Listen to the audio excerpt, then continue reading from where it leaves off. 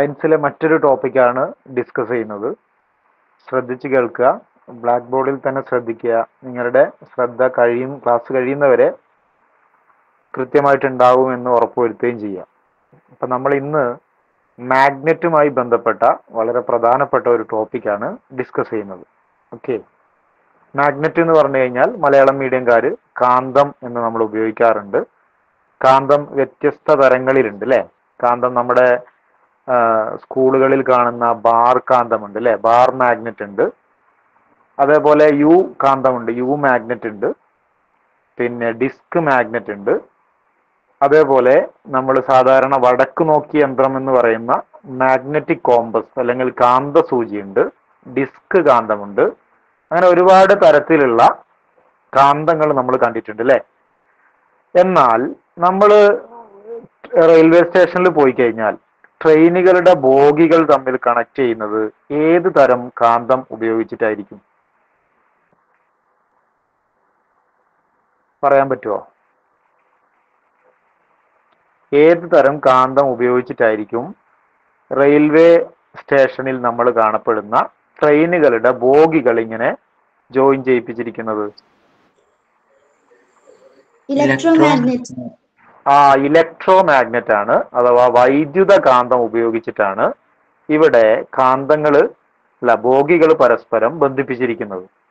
അപ്പൊ ഇതിൽ നിന്ന് നമുക്ക് മനസ്സിലാക്കാൻ വേണ്ടി കഴിയുന്ന ഒരു കാര്യം റെയിൽവേ സ്റ്റേഷനിൽ ഇപ്പോൾ കോഴിക്കോട് റെയിൽവേ സ്റ്റേഷനിൽ നിന്ന് ഈ ഒരു ബോഗി നമുക്ക് നീക്കം ചെയ്യണമെങ്കിൽ ഇതിലൂടെ കടന്നു പോകുന്ന കരണ്ട് നീക്കം ചെയ്തു കഴിഞ്ഞാൽ ഇവിടെയുള്ള കാന്തിക ശക്തി നഷ്ടപ്പെടുകയും ഇതിനെ നമുക്ക് വളരെ ഈസിയായി നീക്കം ചെയ്യാനും കഴിയും. പക്ഷേ ഇതിലൂടെ വൈദ്യുതി ഒഴുകുന്ന സമയത്ത് ഇതിനുള്ള ഒരു പച്ചിരുമ്പ് കോറുണ്ട് അയൺ കോറുണ്ട് ആ അയൺ കോറ് ഒഴുകുന്ന സമയം അയൺ കോറിലൂടെ വൈദ്യുതി കണ്ടക്ട് ചെയ്യുന്ന സമയത്ത് ഇലക്ട്രിസിറ്റി കണ്ടക്ട് ചെയ്യുന്ന സമയത്ത് ആ ഒരു അയൺ കോർ എന്ന് പറയുന്നത് ഒരു കാന്തമായി മാഗ്നറ്റായി മാറുന്നു എന്നുള്ളതാണ് അവിടെ പ്രധാനപ്പെട്ടതായിട്ട് മനസ്സിലാക്കാനുള്ളത്. അപ്പോൾ ഒരു തരത്തിലുള്ള കാന്തം ആണ് ഇലക്ട്രോ മാഗ്നറ്റ് അല്ലെങ്കിൽ വൈദ്യുത കാന്തങ്ങൾ. ഇപ്പൊ വൈദ്യുത കാന്തങ്ങൾ ഒരുപാട് സ്ഥലങ്ങളിൽ ഉപയോഗിക്കുന്നുണ്ട്. ബിക്കോസ് അതിന്റെ കാന്തിക ശക്തി എത്രത്തോളം വർദ്ധിപ്പിക്കാൻ കഴിയോ അത്രത്തോളം നമുക്ക് വർദ്ധിപ്പിക്കാൻ വേണ്ടി കഴിയും. പക്ഷേ ഒരു പെർമനന്റ് മാഗ്നറ്റ് ഒരു സ്ഥിരകാന്തമാണെങ്കിൽ ആ സ്ഥിരകാന്തങ്ങളെ നമുക്ക് എന്ത് ചെയ്യാൻ പറ്റൂല? ആ സ്ഥിരകാന്തങ്ങളുടെ കാന്തിക ശക്തി കൂട്ടാനോ കുറക്കാനോ കഴിയില്ല. അതിന്റെ കാന്തിക ശക്തി അല്ലെങ്കിൽ മാഗ്നറ്റിസം എന്ന് പറയുന്നത് കോൺസ്റ്റന്റ് ആണ് അഥവാ സ്ഥിരമാണ്. പറയണ മനസ്സിലാവുണ്ടോ? ഓഡിയബിൾ അല്ലേ?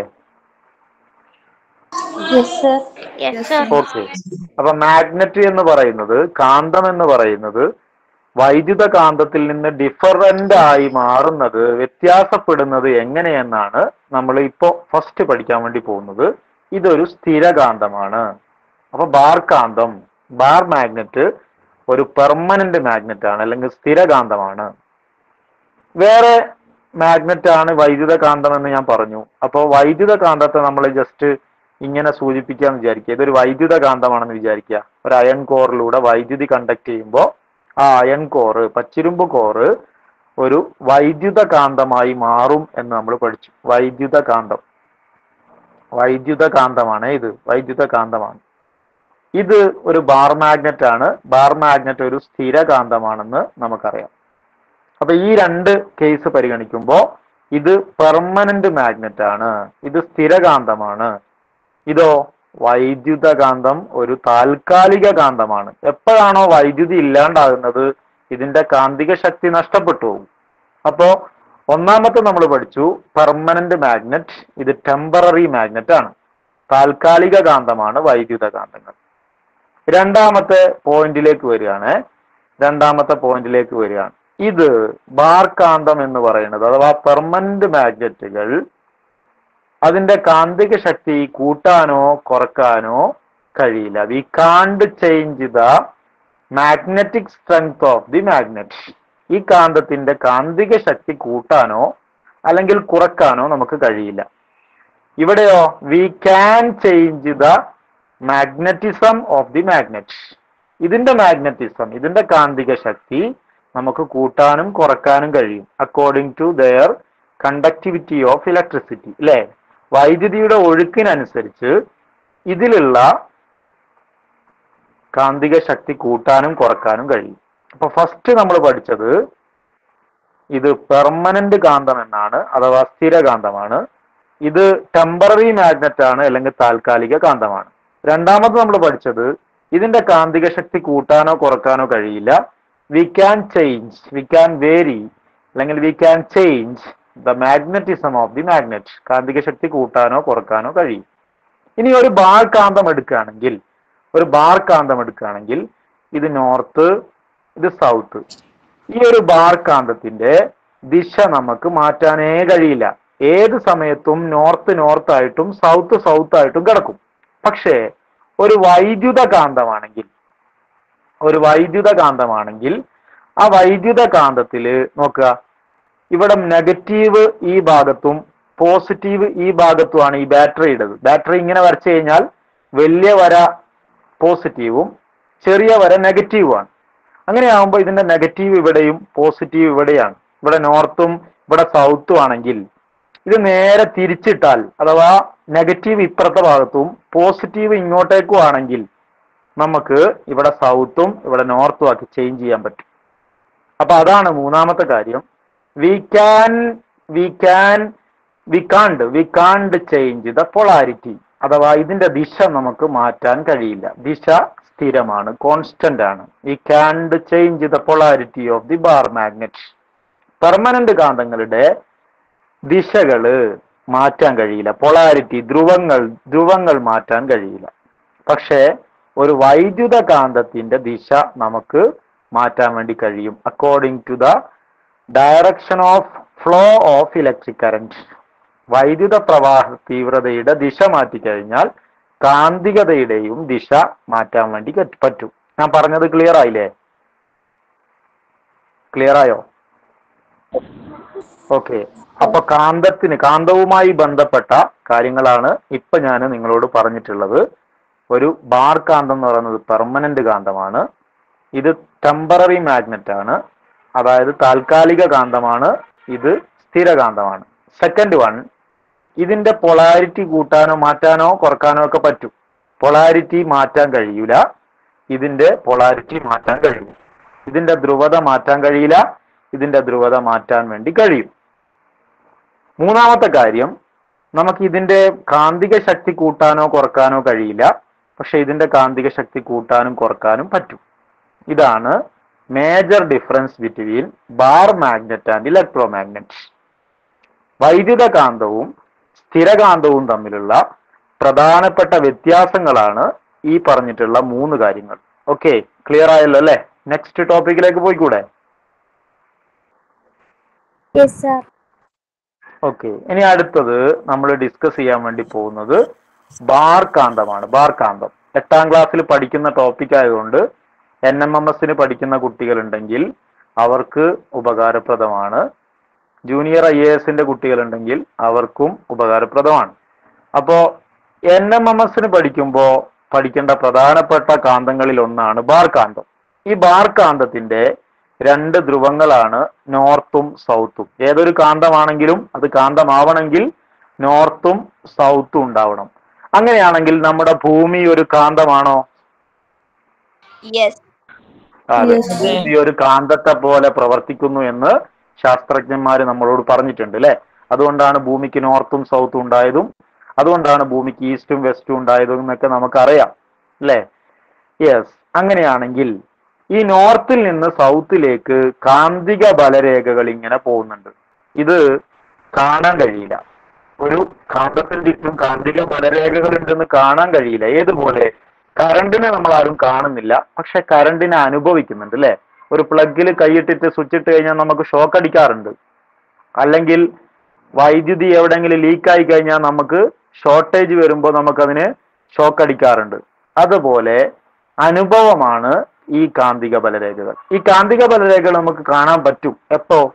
നമ്മൾ സ്കൂളിലൊക്കെ ചെയ്യുന്നത് പോലെ ഒരു കാന്തം ആ കാന്തത്തിന്റെ നോർത്തിൽ നിന്ന് സൗത്തിലേക്ക് കാന്തിക ബലരേഖകൾ പോകുന്നുണ്ടെന്ന് മനസ്സിലാക്കാൻ അതിന്റെ മുകളിൽ ഒരു പേപ്പർ ഇടുക. പേപ്പർ ഇട്ടിട്ട് ആ പേപ്പറിന്റെ മുകളിലായിട്ട് ഇങ്ങനെ ഇരുമ്പ് കഷ്ണം വിതറി കഴിഞ്ഞാൽ ഇരുമ്പ് ഇങ്ങനെ ഈ ഒരു ഓർഡറിൽ നിൽക്കുന്നതായിട്ട് കാണാം. ഇത് സ്കൂളിൽ ചെയ്തിട്ടുണ്ടോ നിങ്ങൾ? സ്കൂളിൽ ചെയ്തിട്ടുണ്ടോ?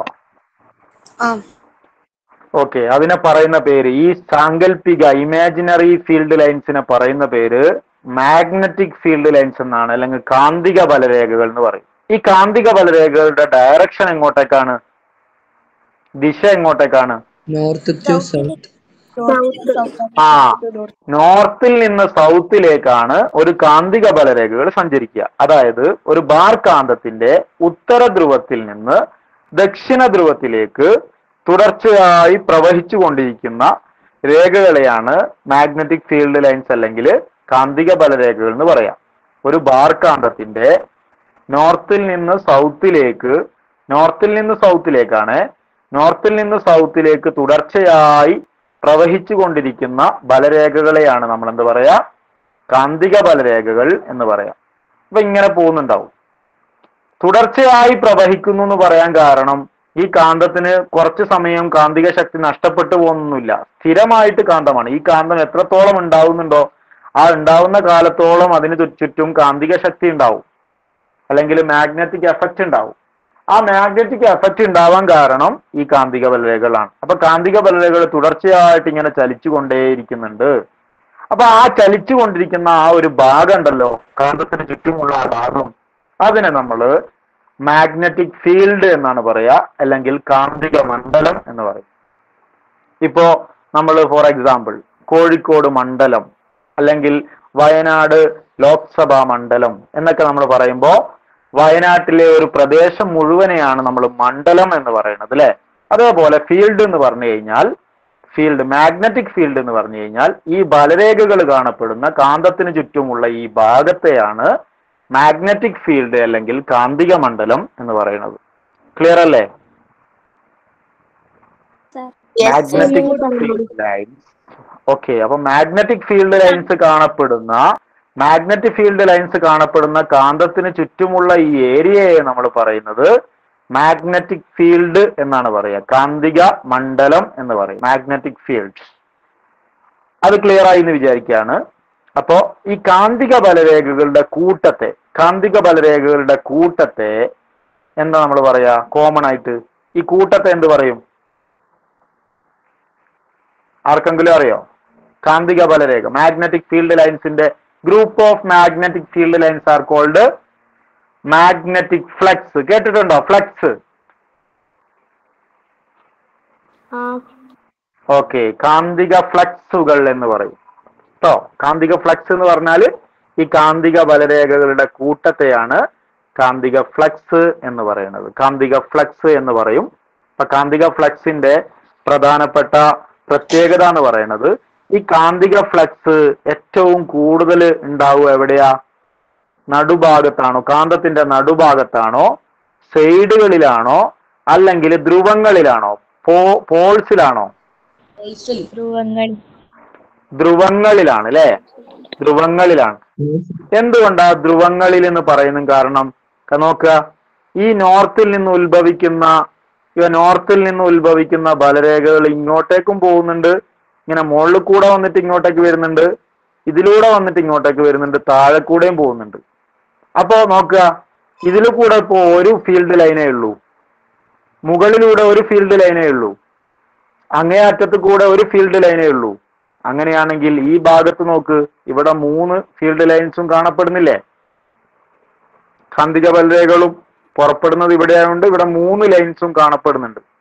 മുകളിൽ കൂടെ പോകുന്നതാണെങ്കിലും താഴെ കൂടെ പോകുന്നതാണെങ്കിലൊക്കെ ഫീൽഡ് ലൈൻസ് കൂടുതലായിട്ട് കാണപ്പെടുന്നുണ്ട്. ധ്രുവങ്ങളിൽ കണ്ടോ? ഇവിടെയും മൂന്ന് ഫീൽഡ് ലൈൻസ് ഉണ്ട് ഇവിടെയും ഉണ്ട്. അപ്പൊ ധ്രുവങ്ങളിലാണ് പോൾസിലാണ് ഏറ്റവും കൂടുതൽ മാഗ്നറ്റിക് ഫ്ലക്സ് കാണപ്പെടുക. അതുകൊണ്ട് ഡെൻസിറ്റി അല്ലെങ്കിൽ മാഗ്നറ്റിക് ഫീൽഡ് ഡെൻസിറ്റി എവിടെ ഏറ്റവും കൂടുതൽ ഉണ്ടാകുക സാന്ദ്രത. മാഗ്നറ്റിക് കാന്തിക ഫ്ലക്സ് സാന്ദ്രത. ധ്രുവങ്ങളിലാണ് കേട്ടോ. നോർത്തിലും സൗത്തിലുമാണ് നോർത്തിലും സൗത്തിലും നോർത്തിൽ മാത്രമല്ല നോർത്തിലും സൗത്തിലുമാണ് കാന്തിക ബൽവേകൾ കൂടുതലായിട്ട് ഉണ്ടാകുക നെക്സ്റ്റ് അത് കഴിഞ്ഞു കേട്ടോ ഈ പറഞ്ഞ ഭാഗം കഴിഞ്ഞ് ഇനി ഒരു കാന്തം ഇങ്ങനെ നമ്മൾ എടുത്തു ഈ കാന്തത്തിന്റെ നോർത്ത് ഇതാണ് സൗത്ത് ഇതാണെന്ന് നമുക്ക് അറിയില്ല എന്ന് വിചാരിക്കുക. അങ്ങനെയാണെങ്കിൽ നമ്മൾ ഇത് ഏത് ദിശയാണ് ഇത് ഏത് ദിശയാണ് എന്ന് തിരിച്ചറിയാൻ ഉപയോഗിക്കുന്ന ഉപകരണം എന്താ? തിരിച്ചറിയാൻ ഉപയോഗിക്കുന്ന ഉപകരണം. മാഗ്നറ്റിക് ആ മാഗ്നറ്റിക് കോമ്പസ് ആണ് കേട്ടോ മാഗ്നറ്റിക് കോമ്പസ് അല്ലെങ്കിൽ കാന്ത സൂചിയാണ് ഉപയോഗിക്കുക. അപ്പൊ കാന്ത സൂചി ഇങ്ങനെ നോർത്ത് ഭാഗത്തേക്ക് തിരിയാണെങ്കിൽ ഇവിടെ നോർത്ത് എന്ന് മനസ്സിലാവും. കാന്ത സൂചി നേരെ ഓപ്പോസിറ്റ് തിരിയാണെങ്കിൽ ഇവിടെ സൗത്ത് ആണെന്ന് മനസ്സിലാവും. അപ്പോ നോർത്തും സൗത്തും കണ്ടെത്താൻ കാന്തത്തിന്റെ ദിശ കണ്ടെത്താൻ ഉപയോഗിക്കുന്ന ഡിവൈസ് ആണ്. Device which determine the direction of the magnet is called magnetic compass. അപ്പൊ മാഗ്നറ്റിക് കോമ്പസ് എന്ന് പറഞ്ഞാൽ എന്താ? കാന്തത്തിന്റെ ദിശ മനസ്സിലാക്കാൻ ഉപയോഗിക്കുന്ന ഉപകരണമാണ്. കാന്തത്തിന്റെ ദിശ മനസ്സിലാക്കാൻ ഉപയോഗിക്കുന്ന ഉപകരണമാണ് മാഗ്നറ്റിക് കോമ്പസ് പറയുന്നത് മനസ്സിലാവുന്നുണ്ടല്ലോ അല്ലേ? ഓക്കെ കാന്തിക ധ്രുവത പോൾസ് ഐഡന്റിഫൈ ചെയ്യാൻ വേണ്ടി ഡയറക്ഷൻ ഏതാന്ന് തിരിയാൻ വേണ്ടിയിട്ട് നമ്മൾ ഉപയോഗിക്കുന്ന ഉപകരണമാണ് മാഗ്നറ്റിക് കോമ്പസ് വടക്ക് നോക്കി യന്ത്രം എന്നൊക്കെ പച്ച മലയാളത്തിൽ നമ്മൾ പറയാറുണ്ട്. പക്ഷെ കാന്തസൂചി എന്നാണ് അല്ലാണ്ട് പറയാ കേട്ടോ കാന്തസൂചി. എന്തുകൊണ്ടായിരിക്കും ഇത് വടക്ക് നോക്കി യന്ത്രം എന്ന് ഇതിന് പേര് വന്നത്? ഈ സൂചിക്ക് വടക്ക് നോക്കി യന്ത്രം എന്ന് പേര് വന്നത്?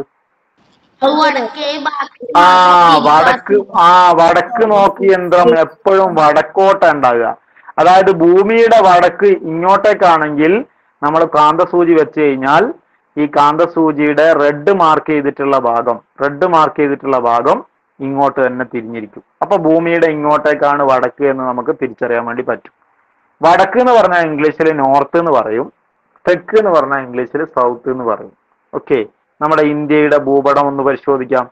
ഇന്ത്യയുടെ ഭൂപടം ഏതാണ്ട് ഇങ്ങനെ ഇങ്ങനെ വന്നിട്ട് നമ്മൾ ഇങ്ങനെ വരക്കൂലേ?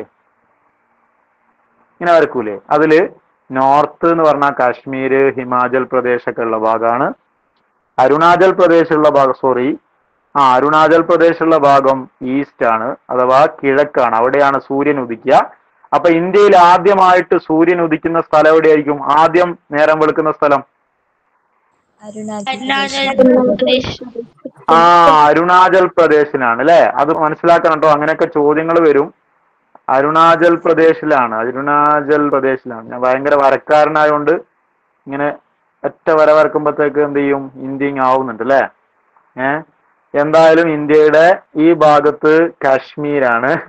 അപ്പൊ ഈ കാശ്മീരിന്റെ ഭാഗത്ത് നോർത്ത് ഇവിടെ ഈസ്റ്റ് ഈസ്റ്റ് എന്ന് പറഞ്ഞാൽ കിഴക്ക്. കിഴക്ക് ഉദിച്ച് പടിഞ്ഞാറ് അസ്തമിക്കുന്ന സൂര്യൻ. അപ്പോ ഇവിടെ പടിഞ്ഞാറ് അഥവാ വെസ്റ്റ്. ഇവിടെ നോർത്ത് ആണെങ്കിൽ അത് നേരെ ഓപ്പോസിറ്റ്. കാന്തത്തിന്റെ നോർത്ത് ഇവിടെയാണെങ്കിൽ ഇവിടെ സൗത്ത് ആണ്. സോ ഇവിടെ സൗത്ത്. അപ്പൊ സൗത്ത് ഇന്ത്യയിലെ സംസ്ഥാനങ്ങൾ ഏതൊക്കെയാ? ഞാൻ ജനറൽ ആയിട്ട് ഒരു ചോദ്യം ചോദിക്കുന്നുള്ളൂ സൗത്ത് ഇന്ത്യയിലെ സംസ്ഥാനങ്ങൾ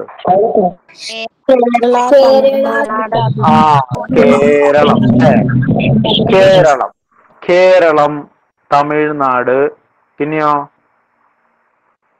കർണാടക.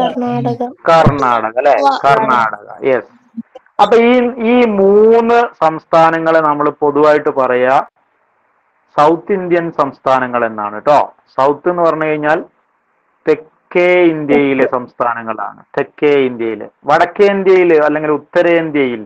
ഉത്തരേന്ത്യയിൽ അതിശൈത്യം എന്നൊക്കെ നമ്മൾ പറയാറുണ്ട് അല്ലെ പത്രമാധ്യമങ്ങളിൽ നമ്മൾ വായിക്കുന്ന വാർത്തയാണ്. കാശ്മീരിലൊക്കെ തണുപ്പുള്ള സീസൺ ആയിരിക്കും ഡിസംബറിൽ അപ്പോൾ ഉത്തരേന്ത്യയിൽ അതിശൈത്യം എന്ന് പറഞ്ഞിട്ട് നമ്മൾ പത്രങ്ങളിൽ കാണാറുണ്ട്. യെസ് ഞാനത് ഒരു ജനറലായിട്ട് പറഞ്ഞു എന്നേ ഉള്ളൂ. അപ്പൊ ഭൂമി ഒരു കാന്തമാണ്. അതുകൊണ്ട് ഭൂമിയുടെ വടക്ക് ഭാഗത്തേക്ക് നോക്കി നിൽക്കുന്ന യന്ത്രമാണ് വടക്ക് നോക്കി യന്ത്രം. അതിനെ നമ്മൾ സയന്റിഫിക്കലി പറയുന്ന പേര് കാന്തസൂചി അല്ലെങ്കിൽ കാന്തസൂചി അല്ലെങ്കിൽ ആ മാഗ്നറ്റിക് കോമ്പസ് എന്നാണ് പറയുക ഇനി ഒരു യു കാന്തം എടുക്കുകയാണെങ്കിൽ യു ഇംഗ്ലീഷിലെ യു അക്ഷരം പോലെ കാണപ്പെടുന്ന കാന്തത്തിനെയാണ് യു കാന്തം എന്ന് പറയാ. ഇതിന്റെ സൗത്ത് ഇവിടെയാണെങ്കിൽ നോർത്ത് ഇവിടെ ആയിരിക്കില്ല നോർത്ത് അടുത്ത പോളിലായിരിക്കും. ഇതാണ് നോർത്ത് മനസ്സിലായല്ലോ? ഇനി ഇനി അടുത്തത് ഒരു കാന്തം. ഈ കാന്തത്തിന്റെ അടിയിൽ നമ്മൾ ഒരു മൊട്ട് സൂചി കൊണ്ടുവച്ച് കഴിഞ്ഞാൽ ആ മൊട്ട് സൂചി ഈ കാന്തവുമായി ആകർഷിക്കൂലേ? അല്ലേ ഞാനത് വേറൊരു കളറിൽ നിങ്ങളെ ഡിനോട്ട് ചെയ്യിപ്പിക്കുകയാണ്. ഇതാണ് നമ്മുടെ മൊട്ട് സൂചി. മൊട്ട് സൂചി ഇപ്പോ ഇതുമായി ടച്ച് ചെയ്ത് നിൽക്കുന്നതുകൊണ്ട് ആകർഷിക്കുന്നുണ്ട്. വേറൊരു മൊട്ട് സൂചി വേറൊരു മൊട്ട് സൂചി നമ്മൾ ഇവിടെ കൊണ്ടുവച്ച് കഴിഞ്ഞാൽ ആകർഷിക്കോ ഇല്ലയോ?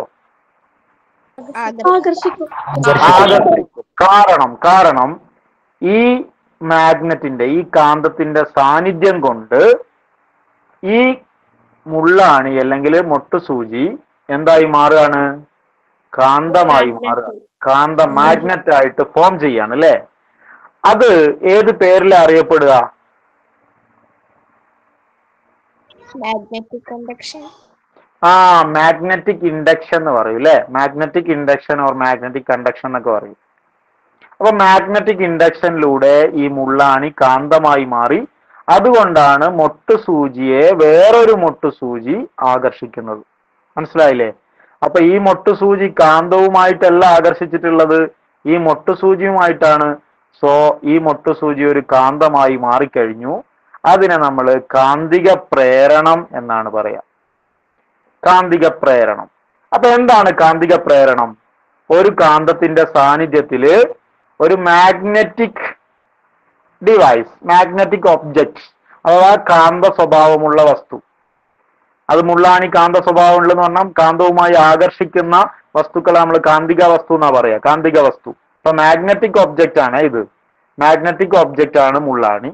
ആ മുള്ളാണിയിലേക്ക് വേറൊരു കാന്തം വേറൊരു മുള്ളാണി ഒട്ടുന്നത് ഇത് കാന്തമായി മാറിയോണ്ടാണ് അതിനെ നമ്മൾ പറയുന്ന പേര് magnetic induction or magnetic conduction or magnet വൈദ്യുത കാന്തപ്രേരണം കാന്തിക പ്രേരണം എന്ന് പറയും. കാന്തിക പ്രേരണം എന്ന് പറയാം. അപ്പൊ ഈ കാന്തിക പ്രേരണം വഴി കാന്തമായി മാറുന്നത് ഒരു പച്ചിരുമ്പാണെന്ന് വിചാരിക്കുക. പച്ചിരുമ്പ് പച്ചിരുമ്പാണ് മുള്ളാണിയൊക്കെ പച്ചിരുമ്പാണ്. പച്ചിരുമ്പ് എന്ന് പറഞ്ഞാൽ സോഫ്റ്റ് അയൺ കേട്ടോ സോഫ്റ്റ് അയണിനെയാണ് പച്ചിരുമ്പ് എന്ന് പറയാ. സോഫ്റ്റ് അയൺ അപ്പൊ ഈ സോഫ്റ്റ് അയൺ ആണല്ലോ ഈ മുള്ളാണി. മുള്ളാണി സോഫ്റ്റ് അയൺ എന്ന് പറയാൻ കാരണം എന്താ? നെയിൽ സോഫ്റ്റ് അയൺ ആ അത് വളയും. വളയാൻ വളക്കാൻ പറ്റുന്ന ആണികളൊക്കെ എന്താണ്? സോഫ്റ്റ് അയൺ ആണ്. വളക്കാൻ പറ്റുന്ന ആണി. അപ്പോ നമ്മൾ കോൺക്രീറ്റ് ചെയ്യുമ്പോ കോൺക്രീറ്റിന്റെ കമ്പി കെട്ടുന്ന ഒരു ചെറിയ കമ്പി ഇല്ലേ ഇങ്ങനെ. റൗണ്ടിൽ നമ്മൾ ആ നൂൽക്കമ്പി വെരി ഗുഡ് നൂൽക്കമ്പി സോഫ്റ്റ് അയൺ ആണോ ആ. ആണ്. അത് വള വളരെ എളുപ്പത്തിൽ നമുക്ക് വളക്കാൻ വേണ്ടി പറ്റും. അങ്ങനെയാണെങ്കിൽ കോൺക്രീറ്റ് ആണില്ലേ? കോൺക്രീറ്റ് ആണ്? ഒരു സ്റ്റീലിന്റെ കളറിലുള്ളത് കോൺക്രീറ്റ് ആണ്? പറ്റൂല. ആ അത് സോഫ്റ്റ് അയൺ അല്ല കേട്ടോ അത് സ്റ്റീലാണ് ഉരുക്ക ഉരുക്കാണ് ഉരുക്കാണ്. അപ്പൊ സ്റ്റീൽ അല്ലെങ്കിൽ ഉരുക്കാണ് കോൺക്രീറ്റ് ആണികൾ. സാധാരണ മുള്ളാണികൾ സാധാരണ നെയിലൊക്കെ എന്താണ്? പച്ചിരുമ്പാണ് അല്ലെങ്കിൽ സോഫ്റ്റ് അയൺ ആണെന്ന് നമുക്ക് പറയാൻ വേണ്ടി പറ്റും. അപ്പൊ ഞാൻ പറയുന്ന പോയിന്റിലേക്ക് വരികയാണ്. ഒരു കാന്തം ഒരു കാന്തം മൊട്ടുസൂചിയുമായിട്ട് ആകർഷിക്കുകയാണ്. മൊട്ടുസൂചിയുമായിട്ട് ആകർഷിക്കുമ്പോ മൊട്ടുസൂചിയുമായിട്ട് ആകർഷിക്കുമ്പോ ഇത് കാന്തമായി മാറി. അതുകൊണ്ട് വേറൊരു മൊട്ടുസൂചി അതിലേക്ക് ആകർഷിക്കുന്നു. ഇനി ഈ കാന്ത വിപണങ്ങൾ ഒഴിവാക്കി എന്ന് വിചാരിക്കുക. ആ കാന്ത അവിടെ നിന്ന് ഒഴിവാക്കി. കാന്ത ഇവിടെ നിന്ന് ഒഴിവാക്കി. ഈ കാന്തത്തെ നമ്മൾ ഇവിടെ നിന്ന് ഒഴിവാക്കി. ഒഴിവാക്കി കഴിഞ്ഞാലും അല്പസമയത്തേക്ക് ഈ മൊട്ട് സൂചിയുടെ ബാക്കിലായിട്ട് എന്ത് വെക്കും? ഈ മൊട്ട് സൂചിന്റെ ബാക്കിൽ എന്ത് ചെയ്യും? സോഫ്റ്റ് അയൺ നിൽക്കും ആ സോഫ്റ്റ് അയൺ തൂങ്ങിക്കിടക്കും. സോഫ്റ്റ് അയൺ തൂങ്ങിക്കിടക്കും. അതാണ് ഇനി ഞാൻ വരക്കാൻ വേണ്ടി പോകുന്നത്. ഒരു കാന്തം. ആ കാന്തത്തിനടിയിൽ നമ്മളൊരു മൊട്ടുസൂചി. ആ മൊട്ടുസൂചിന്റെ താഴെ വേറൊരു മൊട്ടുസൂചി ഇങ്ങനെ തൂങ്ങിക്കിടക്കുന്നു. രണ്ട് മുട്ട സൂചികളുണ്ട് ഈ കാന്തത്തെ നമ്മൾ അവിടെ ഒഴിവാക്കി കഴിഞ്ഞാലും അല്പനേരത്തേക്ക് കാന്തമായിട്ട് തന്നെ ഈ മുള്ളാണി നിൽക്കുകയും ഈ മുള്ളാണീനെ ആകർഷിച്ച് നിൽക്കുകയും ചെയ്യും. അട്രാക്ട് ചെയ്ത് അവിടെ പിടിച്ചു നിർത്തുകയും ചെയ്യും. അതിനെ നമ്മൾ പറയുന്ന പേര് റിറ്റന്റിവിറ്റി എന്നാണ് കേട്ടോ എന്താ പറയാ? റിറ്റന്റിവിറ്റി എന്ന് പറയും. റിറ്റൻഡിവിറ്റി അപ്പൊ റിറ്റൻഡിവിറ്റി എന്ന് പറഞ്ഞാൽ ഇംഗ്ലീഷ് മീഡിയംകാരും മലയാളം മീഡിയംകാരൊക്കെ എന്താണ്? അത് തന്നെയാണ് എഴുതേണ്ടത്. റിറ്റൻഡിവിറ്റി എന്ന് പറഞ്ഞാണ് എഴുതേണ്ടത്. Retentivity is the ability of the magnetic objects to remain magnetic nature അല്ലേ? അല്ലെങ്കിൽ അവിടെ ഇങ്ങനെ പിടിച്ചു നിൽക്കാനുള്ള ability to ability to retain the power of the magnet അതിനെയാണ് എന്ത് പറയാ റിറ്റന്റിവിറ്റി എന്ന് നമ്മൾ പറയാം. അഥവാ കാന്തിക ശക്തി നിലനിർത്താനുള്ള കഴിവ്. കാന്തത്തിന്റെ അസാന്നിധ്യത്തിലും കാന്തിക ശക്തി നിലനിർത്താനുള്ള കഴിവിനെയാണ് റിറ്റന്റിവിറ്റി എന്ന് പറയാം. ഓക്കെ അപ്പൊ നമ്മുടെ പോയിന്റിലേക്ക് വരികയാണ്. നമ്മുടെ പോയിന്റിലേക്ക് വരികയാണ്. അപ്പൊ രണ്ട് പോയിന്റുകൾ നമ്മൾ പഠിച്ചു. ഒന്ന് കാന്തിക പ്രേരണം. കാന്തിക പ്രേരണം അല്ലെങ്കിൽ മാഗ്നറ്റിക് ഇൻഡക്ഷൻ എന്ന് പറയും. മാഗ്നറ്റിക് ഇൻഡക്ഷൻ കാന്തിക പ്രേരണം. രണ്ടാമത്തത് റിറ്റന്റിവിറ്റി ആ. The ability to return to uh, power of magnet. ഇതായിരുന്നു. ആ റിറ്റന്റിവിറ്റി റിറ്റന്റിവിറ്റി ഓക്കെ റിറ്റന്റിവിറ്റി ആണ്. കാന്തിക പ്രേരണം റിറ്റന്റിവിറ്റി അതുകൂടാണ്ട് സസെപ്റ്റിബിലിറ്റി ഉണ്ട്. സസെപ്റ്റിബിലിറ്റി അല്ലെങ്കിൽ വശകത വശകത എന്ന് പറയും. ഇത് നിങ്ങൾ സ്കൂളിൽ പഠിച്ചിട്ടില്ലേ? എട്ടാം ക്ലാസ്സിൽ. വശകത അല്ലെങ്കിൽ സസെപ്റ്റിബിലിറ്റി എന്ന് പറയും. എന്താണ് വശകത എന്ന് പറഞ്ഞ പറഞ്ഞാന്ന് കാണിച്ചു തരാം. അപ്പൊ ഈ മൂന്ന് പോയിന്റുകൾ ഓർത്ത് വെക്കാം കേട്ടോ. മാഗ്നറ്റിക് ഇൻഡക്ഷൻ കാന്തിക പ്രേരണം റിറ്റന്റിവിറ്റി അഥവാ ഇംഗ്ലീഷിൽ മലയാളത്തിലൊക്കെ റിറ്റന്റിവിറ്റി എന്നാ പറയാ. വശകത എന്ന് പറഞ്ഞാൽ അതിന്റെ ഇംഗ്ലീഷ് സസെപ്റ്റിബിലിറ്റിയാണ് സസെപ്റ്റിബിലിറ്റി അല്ലെങ്കിൽ വശകത ഇനി നമ്മൾ ഇതിന്റെ കുറച്ച് കാര്യങ്ങൾ പഠിക്കാൻ വേണ്ടി പോവാണ്. ഒരു കാന്തം. ആ കാന്തത്തിൽ തൂങ്ങി നിൽക്കുന്ന ഒരു മാഗ്നറ്റ് ആ മാഗ്നറ്റിനോട് തൂങ്ങി നിൽക്കുന്ന വേറൊരു കാന്തം. വേറൊരു മുട്ടുസൂചി. ഇത് മുട്ടുസൂചി ആയതുകൊണ്ട് വളരെ വേഗത്തിൽ ഇത് കാന്തിക ശക്തി വീണ്ടെടുക്കും. വളരെ പെട്ടെന്ന് ഇതിന്റെ കാന്തിക ശക്തി ഇതിലേക്ക് എത്തും. പക്ഷെ ഇവിടെ ഒരു സ്റ്റീലായിരുന്നു ഉപയോഗിച്ചതെങ്കിലോ വളരെ പതുക്കെ എത്തുള്ളൂ. അതായത് വശകത സസെപ്റ്റിബിലിറ്റി കൂടുതലാണ് പച്ചിരുമ്പിന്. സോഫ്റ്റ് അയണിന് വശകത കൂടുതലാണ്. സസെപ്റ്റിബിലിറ്റി കൂടുതലാണ് സോഫ്റ്റ് അയണിന് പച്ചിരുമ്പിന് വളരെ വേഗം കാരണമായി മാറാൻ പറ്റും.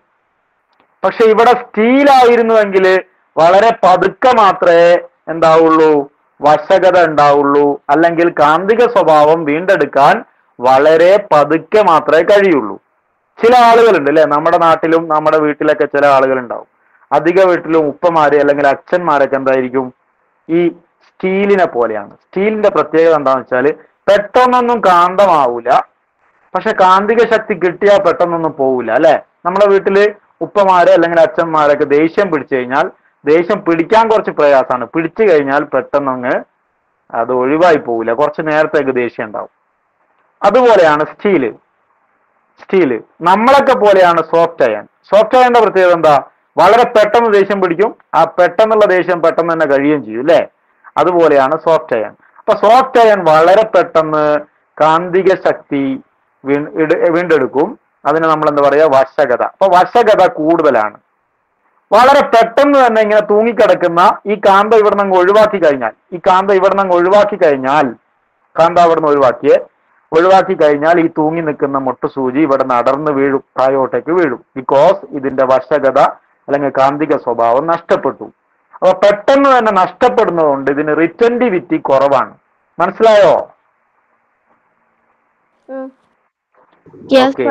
അപ്പൊ സോഫ്റ്റ് അയണ് വശകത കൂടുതലും റിറ്റന്റിവിറ്റി കുറവാണ്. അഥവാ സസെപ്റ്റിബിലിറ്റി കൂടുതലും റിറ്റന്റിവിറ്റി കുറവാണ്.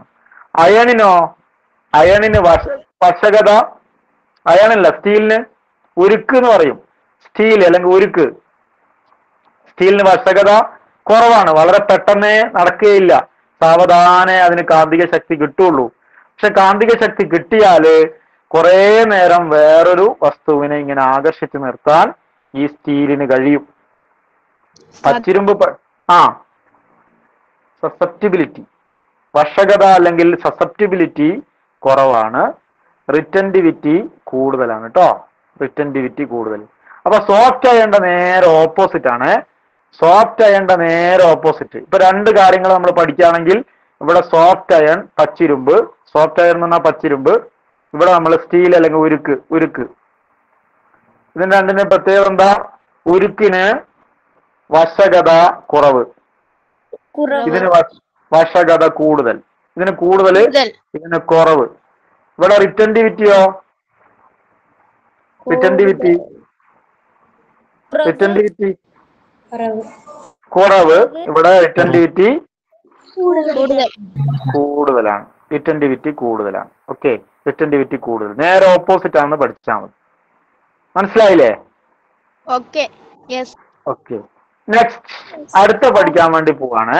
അടുത്ത ഒരു സംഭവം പഠിക്കാൻ വേണ്ടി പോവാണ് നമ്മൾ. ഒരു യു കാന്തം ഒരു യു കാന്തത്തിൽ ഇവിടെ നോർത്തും ഇവിടെ സൗത്തും ആയിരിക്കും. എന്ന് വിചാരിക്കുക. ഞാൻ നോർത്തും സൗത്തും ആണെന്ന് നിർബന്ധമൊന്നുമില്ല കേട്ടോ. ഇവിടെ ചിലപ്പോൾ നോർത്ത് ആവും ഇവിടെ സൗത്ത് ആവും അതൊന്നും നിർബന്ധമൊന്നുമില്ല. ഞാനിപ്പോ വ- വരച്ചതിൽ നോർത്ത് ഇവിടെയും സൗത്ത് ഇവിടെയാന്ന് വിചാരിക്കുക. അപ്പൊ ഇവിടെ ഒരു കാന്തം ഇങ്ങനെ നിൽക്കുകയാണ്. ഒരു കാന്തത്തിലെ ഒരു മുട്ട് സൂചി ഇങ്ങനെ നിൽക്കുകയാണ്. എന്നാൽ മറ്റൊരു മുട്ട് സൂചി ഇവിടെ ഇങ്ങനെ തൂങ്ങി കിടക്കുന്നുണ്ടെങ്കിൽ ഇത് ഇങ്ങോട്ടേക്ക് ആകർഷിച്ചിട്ട് ഇങ്ങനെ നിൽക്കുവോ? ഇങ്ങനെ നിൽക്കുവോ? ഇങ്ങനെ നിൽക്കും.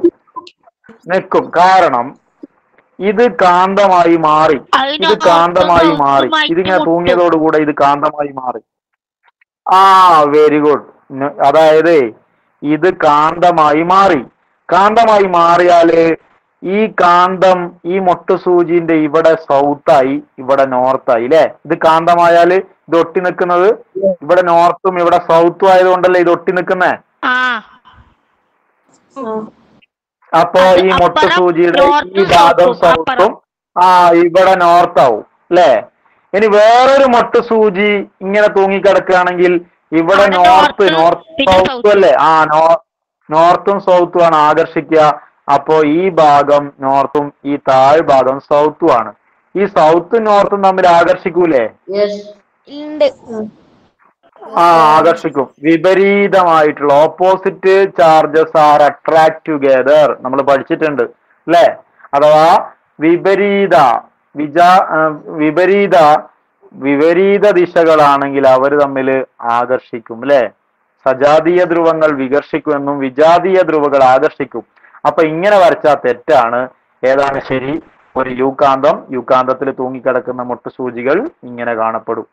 ബിക്കോസ് ഇവിടെ രണ്ട് വ്യത്യസ്ത ദിശകളായതുകൊണ്ട് രണ്ടും കൂടെ കൂട്ടിമുട്ടും. അപ്പോ നിങ്ങളുടെ ടെക്സ്റ്റ് ബുക്ക് തന്നെ ഉള്ള ചിത്രമാണിത് ഞാനൊന്ന് ഓർമ്മിച്ചെന്നുള്ളൂ. ഇവിടെ നമ്മൾ പഠിക്കാൻ വേണ്ടി പോകുന്നത് കാന്തം ഇങ്ങനെ വരച്ചതാണ് ശരി? ഇങ്ങനെ വരച്ചതാണോ ശരി? അല്ലെങ്കിൽ കാന്തം ഇങ്ങനെ വിട്ടു നിൽക്കുവോ ഏതാ ശരി? എ ബി സി എ ആണ് ശരി അല്ലെ? എ ആണ് ശരി. ഇനി അടുത്തത് ഒരു ബാർ കാന്തത്തിൽ ഒട്ടി നിൽക്കുന്ന രണ്ട് മുള്ളാണികൾ. ഇങ്ങനെ നിൽക്കുന്നതാണോ ശരി? ഇങ്ങനെ നിൽക്കുന്നതാണോ ശരി? അല്ലെങ്കിൽ നേരെ കുത്തനെ നിൽക്കും. എ ആണോ ബി ആണോ സി ആണോ? ആ ഇതിൽ എ ആണ് ശരി കേട്ടോ എ ആണ് ശരി. കാരണം എന്താന്ന് വെച്ചാൽ ഇത് ഇത് ഇത് സൗത്തും അത് മനസ്സിലാക്കുക. ശ്രദ്ധിച്ച് കേട്ടാൽ മനസ്സിലാവും കേട്ടോ ഇത് സൗത്തും ഇത് നോർത്തും ആണെങ്കിൽ ഈ രണ്ട് ഭാഗവും സൗത്തും സൗത്തും ആയിരിക്കൂലേ മുട്ടുസൂചിന്റെ അതുകൊണ്ടല്ലേ ഇവിടെ ആകർഷിച്ചത് അല്ലേ? സൗത്തും സൗത്തും ആണെങ്കിൽ ഇത് നോർത്തും നോർത്തും ആയിരിക്കൂലേ? സജാതീയ ധ്രുവങ്ങളായില്ലേ ഇത്? Same ദിശകളായില്ലേ? Same poles are repel together അല്ലെ? ഇവ തമ്മിൽ പരസ്പരം അകലും. അകലും. അകലുന്നത് കൊണ്ട് ഇതിങ്ങനെ ഇങ്ങനെ നിൽക്കും. അത് നമുക്ക് സ്കൂളിലൊക്കെ ചെയ്ത് കാണിച്ചു തന്നിട്ടുണ്ടാവും. ടീച്ചർമാർ ചെയ്ത് തന്നിട്ടുണ്ടാവും. ഇങ്ങനെ അകന്ന് നിൽക്കും കേട്ടോ കാന്തസൂചിയിൽ അല്ല കാന്തത്തിൽ തൂങ്ങിക്കിടക്കുന്ന മുട്ടുസൂചികൾ സൂചികൾ കാന്തത്തിലാണെങ്കിൽ ഇങ്ങനെ അകന്ന് നിൽക്കും. യു കാന്തത്തിലാണെങ്കിൽ ഇങ്ങനെ അടുത്ത് നിൽക്കും. മനസ്സിലായോ? യെസ് സാർ അതിന് കാരണം സജാതീയ ധ്രുവങ്ങൾ വികർഷിക്കും റിപ്പൽ ടുഗെദർ മറ്റേതോ അട്രാക്ട് ടുഗെദർ ആകർഷിക്കും വിപരീത ചാർജുകൾ ആകർഷിക്കും എന്നുള്ളതാണ് അതിന്റെ ആൻസർ റിപ്പൽ ഈച്ചതർ കേട്ടോ റിപ്പൽ ഈച്ചതർ എന്നാണ് ഇതിന് കാരണം. ബാർ കാന്തത്തിൽ ഇങ്ങനെ സമാന ചാർജുകൾ same poles are repel to each other ഇവിടെ അട്രാക്ട് ടു ഗദർ എന്നുള്ളതാണ് ആൻസർ ആയിട്ട് വരിക. ഇനി അടുത്തത് ഒരു സോളിനോയിഡിലൂടെ ഒരു പച്ചിരുമ്പിലൂടെ വൈദ്യുതി കടത്തിവിട്ടാൽ ഈ പച്ചിരുമ്പ് എന്തായി മാറും? ഈ പച്ചിരുമ്പല്ല ഈ കോയിൽ എന്തായി മാറും? ചുറ്റുകൾ കാന്തമായിട്ട് മാറും അല്ലേ? അപ്പൊ കാന്തമായിട്ട് മാറാൻ കാരണം ഇതിലൂടെ വൈദ്യുതി കണ്ടക്ട് ചെയ്യുന്ന കൊണ്ടാണ്. ഇവിടെ പോസിറ്റീവ് ഇവിടെ നെഗറ്റീവ് ഇങ്ങനെ പോയി കഴിഞ്ഞാൽ ഇത് വൈദ്യുത കാന്തമായി മാറും. അപ്പൊ വൈദ്യുത കാന്തത്തിന്റെ പ്രത്യേകത നേരത്തെ നമ്മൾ പഠിച്ചിരുന്നു അല്ലെ? എന്തൊക്കെയായിരുന്നു? ആരെങ്കിലും ഒരാൾ പറയോ? ഒരാൾ പറഞ്ഞാൽ മതി. എന്തൊക്കെയായിരുന്നു വൈദ്യുത കാന്തത്തിന്റെ പ്രത്യേകത? We can change the magnetism of electromagnet. ഒന്ന് ടെമ്പററി മാഗ്നറ്റ് ആണ് അല്ലെ? രണ്ടാമത്തത് we can change the polarity we can change മറ്റത് we can change the magnetism കാന്തിക ശക്തി മാറ്റാൻ കഴിയും ദിശ മാറ്റാൻ കഴിയും താൽക്കാലിക കാന്തമാണ്. ഈ ഒരു കാന്തിക ശക്തി ഇതൊരു കാന്തമായി മാറും കേട്ടോ ഈ വട്ടം വരച്ചിരിക്കുന്നത് ഒരു കാന്തമായി മാറും. ഈ പച്ചിരുമ്പ് അല്ല ഈ ഈ ഒരു കോയിൽ മുഴുവൻ കാന്തമായി മാറും. ഇതിലൂടെ വൈദ്യുതി ഇങ്ങനെ കറങ്ങി നടന്നു കഴിഞ്ഞാൽ ഇതിലൂടെ ഒഴുകി കഴിഞ്ഞാൽ ഇതൊരു കാന്തമായി മാറും. അപ്പൊ കാന്തമായി മാറുന്ന ഈ ഒരു ഭാഗം ഉണ്ടല്ലോ ഈ ഒരു സോളിനോയിഡ്. ആ സോളിനോയിഡിന്റെ കാന്തിക ശക്തി കൂട്ടാൻ to increase the power of the magnet എന്താ ചെയ്യേണ്ടത്? വാട്ട് ആർ ദ ഫാക്ടേഴ്സ് കൂട്ടണം. ആ ചുറ്റുകളുടെ എണ്ണം കൂട്ടുക. ചുറ്റുകളുടെ എണ്ണം വളരെ കൂടുതലാണെങ്കിൽ കാന്തിക ശക്തി കൂടിക്കൂടി കൂടി വരും. അപ്പൊ increase the number of turns അല്ലേ ഒന്ന് ചുറ്റുകളുടെ എണ്ണം കൂട്ടിയാൽ മതി. ആ രണ്ടാമത്തത് കാന്തിക ശക്തി കൂട്ടാന് increase the amount of current ഇവിടെ ആകെ ആറ് വോൾട്ട് ആണ് ഒഴുകുന്നതെങ്കിൽ അതൊരു പന്ത്രണ്ട് വോൾട്ട് ആക്കിയാൽ മതി കേട്ടോ പന്ത്രണ്ട് വോൾട്ട് ആക്കി കഴിഞ്ഞാലും ചെയ്യും? ശ്രദ്ധിക്കുക ശ്രദ്ധിക്കുക. മ്യൂട്ട് ചെയ്ത് മ്യൂട്ട് ചെയ്ത്. മ്യൂട്ട് ചെയ്യുക. എല്ലാരും ഇങ്ങനെ സംസാരിച്ചു കഴിഞ്ഞാൽ മനസ്സിലാവില്ല. ഓക്കെ അപ്പോ പ്ലസ് മൈനസ് ഇതിലൂടെ ഇങ്ങനെ ഒഴുകിയിട്ട് ഇതെന്തായി മാറും? കാന്തമായിട്ട് മാറും. ഈ കാന്തമായി മാറുന്നതിനെ സ്വാധീനിക്കുന്ന ഘടകങ്ങളാണ് ഒന്ന് ചുറ്റുകളുടെ എണ്ണം നമ്പർ ഓഫ് ടേൺസ് മ്യൂട്ട് ചെയ്തേ മ്യൂട്ട് ചെയ്തേ. എല്ലാവരും മ്യൂട്ട് ചെയ്യേ. Okay increase the number of turns ആണ് ഫസ്റ്റ് വൺ സെക്കൻഡ് വൺ ഇതിലൂടെ ഒഴുകുന്ന കറണ്ടിന്റെ അളവ് കൂട്ടുക. അതായത് increase the electric intensity electric intensity കൂട്ടുക. വൈദ്യുത പ്രവാഹ തീവ്രത കൂട്ടുക. അല്ലെങ്കിൽ ഇതിന്റെ ഉള്ളിൽ ഒരു പച്ചിരുമ്പ് കോർ വെക്കുക. Fit an iron core inside the solenoid സോളിനോയിഡിന്റെ ഉള്ളിൽ ഒരു പച്ചിരുമ്പ് വെച്ച് കഴിഞ്ഞാലും കാന്തിക ശക്തി കൂട്ടും. ഇനി പച്ചിരുമ്പ് പച്ചിരുമ്പിന്റെ സൈസ് അഥവാ ഇതിന്റെ സർഫസ് ഏരിയ വീതി കൂടിയ ഒരു പച്ചിരുമ്പ് വെച്ചാലും അതിനേക്കാളും കൂടും. അപ്പൊ what what are the factors? നിങ്ങൾ അലമ്പ് കളിക്കുന്ന ആൾക്കാരെയൊക്കെ ടീച്ചേഴ്സ് ഓൺലൈനിലുണ്ട് റിമൂവ് ചെയ്യും. പിന്നെ ഒരിക്കലും ഇങ്ങോട്ട് കയറൽ ഉണ്ടാവില്ല കേട്ടോ ഏഹ് പിന്നെ നിങ്ങൾ ആക്സെപ്റ്റ് ചെയ്യേണ്ടത് അവരാണ്. അപ്പൊ ശ്രദ്ധിച്ച് ക്ലാസ്സിലിരിക്കുക. അലമ്പ് കളിച്ചു കഴിഞ്ഞാൽ അലമ്പന്മാരായിട്ട് പിന്നെ ക്ലാസ്സിൽ കയറൽ ഉണ്ടാവില്ല അപ്പോ ഇതിനെ ഡിപ്പെൻഡ് ചെയ്യുന്ന ഇതിനെ ഡിപ്പെൻഡ് ചെയ്യുന്ന ഫാക്ടേഴ്സ് എന്തൊക്കെയാന്ന് ചോദിച്ചു കഴിഞ്ഞാൽ കാന്തിക ശക്തിയെ സ്വാധീനിക്കുന്ന ഘടകങ്ങൾ എന്തൊക്കെയാന്ന് ചോദിച്ചു കഴിഞ്ഞാൽ ഒന്ന് ചുറ്റുകളുടെ എണ്ണം രണ്ട് വൈദ്യുത പ്രവാഹ തീവ്രത ഇലക്ട്രിക് ഇന്റൻസിറ്റി മൂന്ന് പ്രസൻസ് ഓഫ് അയൺ കോർ നാല് surface area of the iron core Malayalam മീഡിയംകാരോട് ഒന്നും കൂടെ പറയാം. ഒന്ന് ചുറ്റുകളുടെ എണ്ണം രണ്ട് വൈദ്യുത തീവ്രത വൈദ്യുത പ്രവാഹ തീവ്രത മൂന്ന് പച്ചിരുമ്പ് കോറിന്റെ സാന്നിധ്യം. നാലാമത്തത് പച്ചിരുമ്പ് കോറിന്റെ പ്രതലതല പരപ്പളവ്. ഇംഗ്ലീഷ് മീഡിയംകാരോടൊന്നും കൂടെ പറയാം. Increase the number of turns ആണ് കൂട്ടാനാണെങ്കിൽ ഫാക്ടേഴ്സ് എന്തൊക്കെയാ? ഒന്ന് number of turns number of turns എന്ന് പറഞ്ഞാൽ ചുറ്റുകളുടെ എണ്ണം.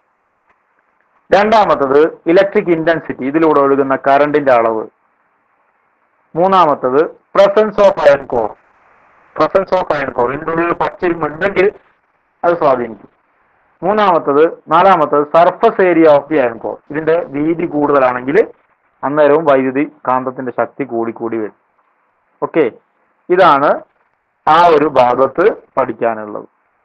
ഇനി നമ്മൾ മാഗ്നറ്റുമായി ബന്ധപ്പെട്ട് എട്ടാം ക്ലാസ് വരെയുള്ള പഠി കുട്ടികൾക്ക് പഠിക്കേണ്ട കാര്യങ്ങളൊക്കെ പഠിച്ചു കഴിഞ്ഞു. ഇനി ഒൻപതാം പത്താം ക്ലാസ്സിൽ ഡീപ്പായിട്ട് കുറച്ചും കൂടെ പഠിക്കാനുണ്ട്.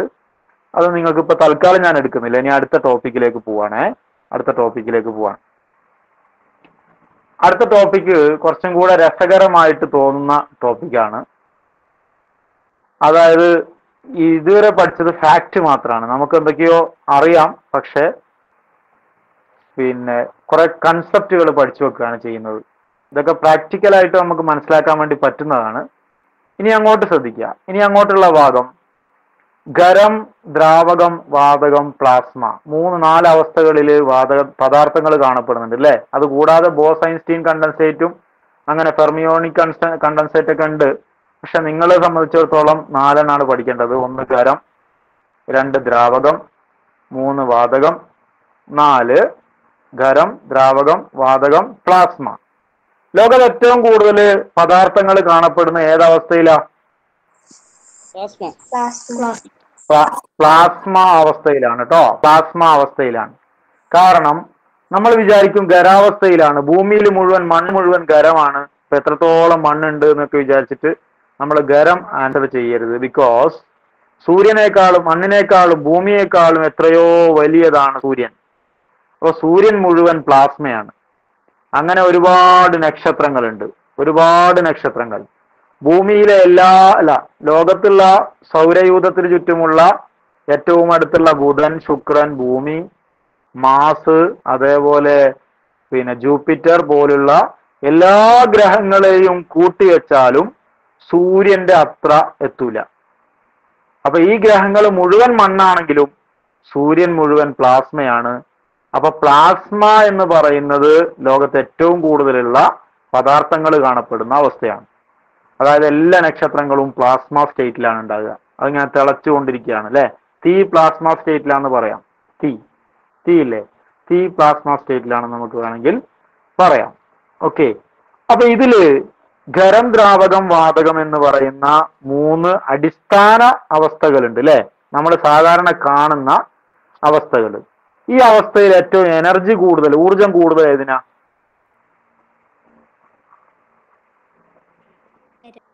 വാതകം? ഗരം അല്ല ഏറ്റവും എനർജി കൂടുതൽ വാതകം. കാരണം എന്താ അറിയോ വാതകം വളരെ വേഗതയിൽ ഇങ്ങനെ ചലിക്കും. വാതകാവസ്ഥയിലുള്ളത് വളരെ വേഗതയിൽ ഇങ്ങനെ ചലിച്ചു കൊണ്ടേയിരിക്കുകയാണ് എങ്ങനെ? എപ്പം ക്ലാസ് മനസ്സിലായില്ല. എപ്പം ക്ലാസ് തീറലെന്ന് തീരലോ? നീ പൂനൂരുള്ള കുട്ടിയാണോ? പൂനൂര് സ്കൂളിലുള്ള കുട്ടികളാണോ? പൂനൂര് സ്കൂളിലുള്ള കുട്ടിയാണോ? അല്ല. അല്ല അല്ല. നമുക്ക് കുറച്ച് കഴിയുമ്പോ തീരും. ഇതിപ്പോ ഞാൻ പറയും. കേട്ടോ ഇപ്പൊ അവസാനിക്കും. ശ്രദ്ധിച്ചു കേൾക്കുക. ക്ലാസ് മുഴുവൻ നിൽക്കുക കേട്ടോ ക്ലാസ് തീരുന്നവരെ നിൽക്കുക. ഓക്കെ. അപ്പോ കണികകൾ പാർട്ടിക്കിൾസ് വളരെ വേഗതയിൽ സഞ്ചരിക്കുന്നു. പൂനൂരുള്ള ആരെങ്കുണ്ടോ നമ്മൾ ഓൺലൈനിൽ ഓ. ഓ. ആ ഉണ്ട് അല്ലേ യെസ് യെസ് വെരി ഗുഡ് അപ്പൊ നമ്മൾ ഈ കണികകൾ വളരെ വേഗതയിൽ സഞ്ചരിക്കുകയാണെങ്കിൽ ഒരു വണ്ടി വളരെ സ്പീഡിൽ വന്നിട്ട് വേറൊരു വണ്ടിയെ ഇടിക്കുകയാണെങ്കിൽ അന്നേരല്ലേ ഏറ്റവും കൂടുതൽ അപകടങ്ങൾ ഉണ്ടാകുക ഏറ്റവും കൂടുതൽ എനർജി ഉണ്ടാകുക എനർജി കാരണമല്ലേ ഈ ബോഗികളൊക്കെ ചളുങ്ങി പോകുന്നത് അപ്പൊ വേഗത കൂടുമ്പോ എനർജി കൂടും. നമ്മൾ ഒരാളെ ആഞ്ഞടിച്ചു കഴിഞ്ഞാൽ അയാൾക്ക് വേദന എടുക്കും മെല്ലെ അടിക്കുന്നതിനേക്കാൾ. കാരണം ആഞ്ഞടിക്കുമ്പോൾ ചലനം കൊണ്ടുള്ള ഒരു ഊർജം കൂടെ കിട്ടും. അതിനെ നമ്മൾ കൈനറ്റിക് എനർജി അല്ലെങ്കിൽ ഗതികോർജം എന്നാ പറയാ കേട്ടോ. ചലനം കാരണം ഉണ്ടാകുന്ന ഊർജത്തിന്റെ പേരാണ് പൊട്ടൻഷ്യൽ കൈനറ്റിക് എനർജി അല്ലെങ്കിൽ ഗതികോർജം എന്ന് പറയുന്നത്. അപ്പോ ഏതവസ്ഥയിലായിരിക്കും? വാതകാവസ്ഥയിലുള്ള ഗ്യാസ് സ്റ്റേറ്റിനാണ് ഏറ്റവും എനർജി കൂടുതൽ ഉണ്ടാകുക. Because they are in motion അവ ചലിച്ചു കൊണ്ടേയിരിക്കുകയാണ്. നമ്മുടെ വീട്ടിൽ ഒരു ബിരിയാണി വെച്ച് കഴിഞ്ഞാൽ ആ ബിരിയാണിയുടെ ഗന്ധം ഇങ്ങനെ അപ്പുറത്തെ വീട്ടിലേക്ക് എത്തും. അല്ലെ എത്ര പെട്ടെന്നാണ് വായുവിലൂടെ അതിന്റെ കണങ്ങൾ സഞ്ചരിച്ചിട്ട് വേറൊരാളെ വേറൊരാളെ മൂക്കിലേക്ക് എത്തുന്നത് അല്ലെ ഇയാളെ മൂക്കിലേക്ക് ഈ ഒരു ബിരിയാണിയുടെ ഗന്ധം എത്തുന്നത് ഇങ്ങനെ വായുവിലൂടെ സഞ്ചരിച്ച് അയാളുടെ മൂക്കിലേക്ക് എത്തുകയാണ്. അപ്പൊ വാതക കണ കണങ്ങൾ. നമുക്കറിയാം വീട്ടിൽ ഒരു പുക എന്തെങ്കിലുമൊക്കെ കത്തിച്ചു കഴിഞ്ഞാൽ പുക ഉണ്ടാവും. പുക വളരെ വേഗതയിൽ ഇങ്ങനെ സ്പ്രെഡ് ആവുന്നത് നമ്മൾ കാണാറുണ്ട്. അപ്പോൾ വാതകമാണ് വളരെ വേഗതയിൽ സഞ്ചരിക്കുന്നത്. അതുകൊണ്ട് തന്നെ വാതകങ്ങൾക്ക് എനർജി ഊർജം വളരെ കൂടുതലാണ്. ക്ലിയർ ആയോ? ഓക്കെ അങ്ങനെയാണെങ്കിൽ കണികകൾ ഏറ്റവും അടുത്തിരിക്കുന്നത് ഏതിലായിരിക്കും? പാർട്ടിക്കിൾസ് വളരെ അടുത്തിരിക്കുന്നത്.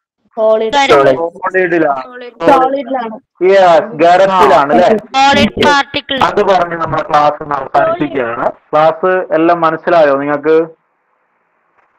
യെസ് യെസ് ഓക്കെ അപ്പൊ നമുക്ക് അവസാനിപ്പിക്കാം. Thank you okay good night